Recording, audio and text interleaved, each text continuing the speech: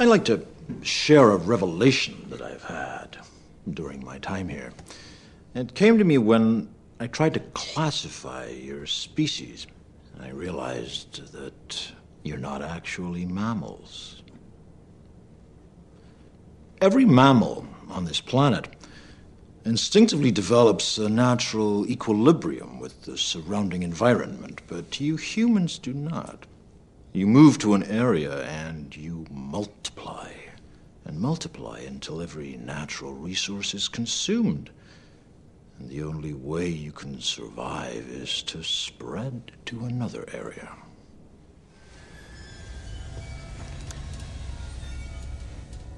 There is another organism on this planet that follows the same pattern. Do you know what it is? A virus. Human beings are a disease, a cancer of this planet. You are a plague, and we are the cure.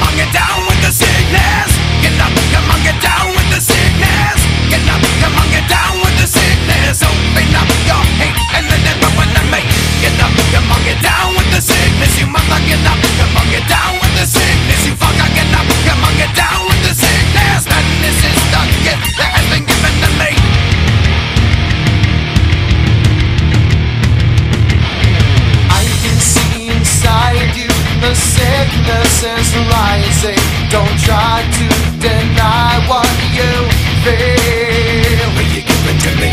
It seems that all that was good has died and is decaying.